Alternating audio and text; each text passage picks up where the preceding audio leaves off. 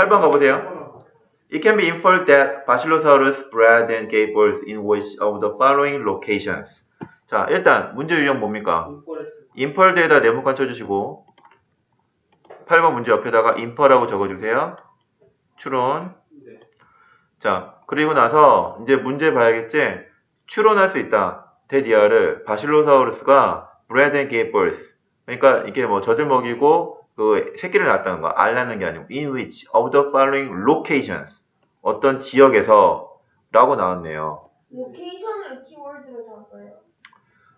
되지 않을까요? location을 키워드로 잡는 것보다는 일단 근데 location도 가능하고 바실로사우루스는 기본적인 키워드가 들어가야 되겠지 대문자니까 그러면은 location은 그냥 sub예요.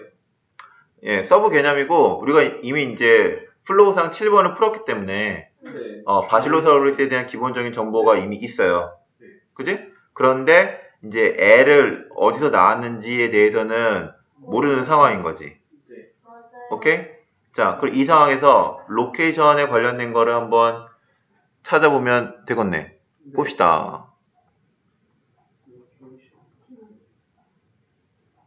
쭉 보니까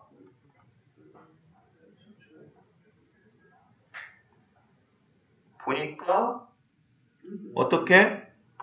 얘는 지금. 바실로사우루스가 밑에 세 번째 줄에 또 있죠. 그거 네모칸 쳐주시고. 네. 바실로사우루스. 바실로사우루스는 undoubtedly. 아 요거 있구나.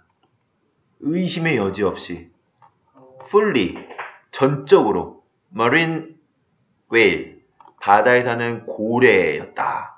With possibly non-functional or 어, vegetal hindlegs 라고 되어 있어. 그러면은 의심의 여지 없이라는 거는 바다에서 계속 살았다. 이런 말이에요. 오케이? 음. 그럼 이 전제 하에 이 다시 보세요. 이거는 팩트 문제가 아니고 인포 문제란 말이야. 일단 온랜드 당연히 아니죠. 바다에서 쭉 살았으니까 보스 온랜드 역시 B번에 온랜드 안 돼요.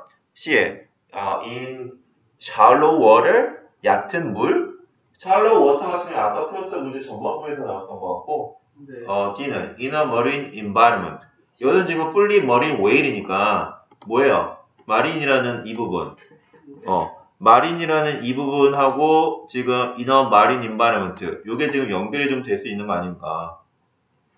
그죠? 그죠? 마린 마린.